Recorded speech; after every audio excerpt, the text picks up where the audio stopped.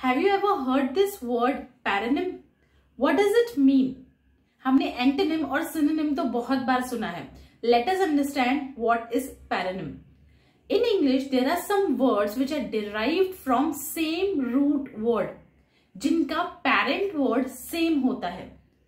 There is vast difference in their meaning but they look similar almost similar ऐसे words को हम paronym बोलते हैं। For example alternate and alternative. There is vast difference between the meaning of these two words, but they derive from the same root word.